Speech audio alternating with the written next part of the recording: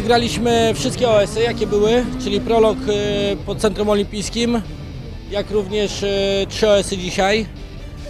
Rajd bardzo ciężki, pogoda nam przeokropnie dokuczała, warunki normalnie Afryka, Dakar, chyba tak, tak jest na Dakarze. E, Także no, musieliśmy sobie z tym radzić. E, Przez te temperatury wysokie powietrza mieliśmy też wysokie temperatury silnika. No, trzeba było tutaj troszeczkę uważać, ale udało się, dojechaliśmy do mety. Nieoficjalnie wygraliśmy, także jest ok.